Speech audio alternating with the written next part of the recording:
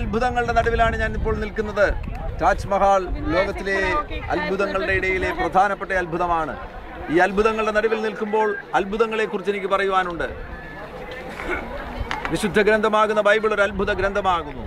ആ ഗ്രന്ഥത്തിനകത്ത് അത്ഭുതങ്ങളുടെ നീണ്ട പട്ടിക നമുക്ക് കാണുവാൻ കഴിയും. മനുഷ്യൻ നിർമ്മിച്ച ഈ താജ്മഹൽ ലോകത്തിൽ ഒരു അത്ഭുതമായി തീർന്നു എങ്കിൽ ദൈവം സൃഷ്ടിച്ച ഈ പ്രപഞ്ചം എത്ര വലിയ അത്ഭുതമാണ്. നാം ഓരോരുത്തരും എത്ര വലിയ അത്ഭുതമാണ്. മനുഷ്യരുടെ അത്ഭുതമാണ്. അതിലെല്ലാം ഉപരിയായിട്ട് യേശു ക്രിസ്തുവിന്റെ ജനനം ഒരു അത്ഭുതമാണ്. യേശു ക്രിസ്തുവിന്റെ ഉയർത്തെഴുന്നേൽപ്പ് ഒരു അത്ഭുതമാണ്.